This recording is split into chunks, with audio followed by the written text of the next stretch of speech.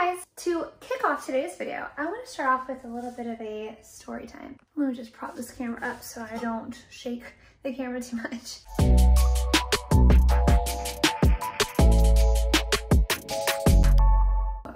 Time, I was very insecure about my underarms. Actually, throughout high school and up to my early 20s, I was so insecure. I would just always want to cover my arms and just not show anybody. There's one specific conversation I remember having with my mom. Bless her, she didn't mean anything by it, but she swung her underarm at me and was like, get used to Lauryn. The women in our family have big arms. It's in your genetics. There's nothing you can do about it.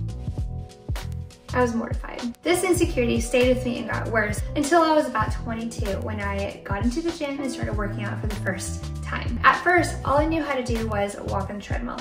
So I would walk and start losing some body fat, but I noticed my arms weren't getting any better. They actually started making me feel more insecure because I started having some extra skin there without having the muscle tone or anything toning my arms. It just felt like I was getting worse. But then I started weightlifting. What I noticed is that my triceps were actually the part of my body that transformed the fastest. So I wanted to share that with you guys so you know that I've had my own struggles also. As a personal trainer, one thing I hear a lot, especially from women, is that our underarms are a big insecurity of ours.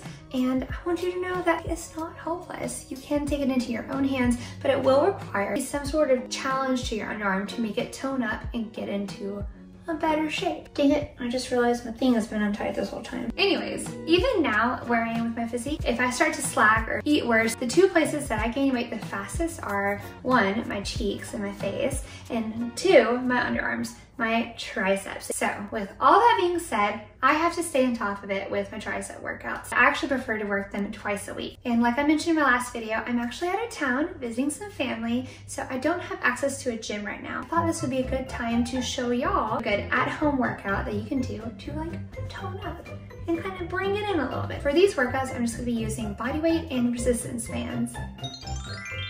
For this first exercise, I have these resistance bands, but I'm gonna use the heavyweight. This particular band is a little too easy, so I'm gonna grab it closer to the face. We get good resistance, lunge forward. This lunge is gonna give me a good balance and steady foundation. So I'm gonna extend my arms forward, and at the front, I'm going to flick my wrist out. We're gonna do 15 reps.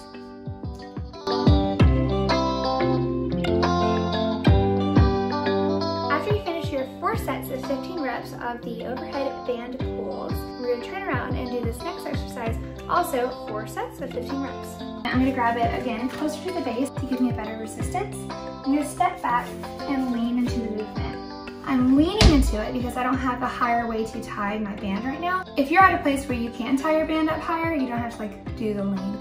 But in this case, I'm gonna put it right here, lean into it, and I'm just gonna extend my arms back. And I'm gonna hold for a few seconds.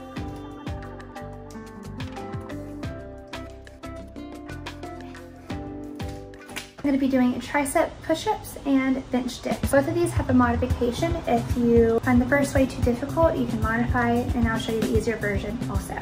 Here's the thing about tricep push-ups. I'm gonna show you from the front view. A lot of people are used to doing push-ups with their arms out like this. This is not how you wanna do it. We're gonna keep our arms close. Instead of our elbows going out, our elbows are going back and scraping our bodies throughout the whole motion.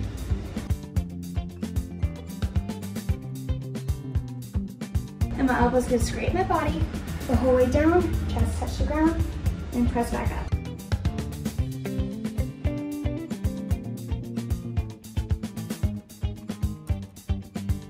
We're gonna do four sets of 15 reps. If you find yourself getting burnt out and you're not able to get yourself back up off the ground, you can modify the movement or the rest of your sets in this way.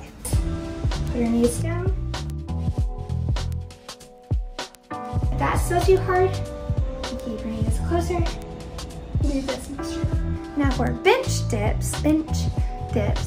Sounds like I'm cursing. I'll show you the easier way first. And the easiest way is to have your feet on the ground bent or out and slightly bent. And push your elbows back, press up. That's too easy, put your legs all the way out, balance on your heels, and then press up. If that's still too easy, I challenge you to do this. Find something to elevate your it's just you against gravity at this point.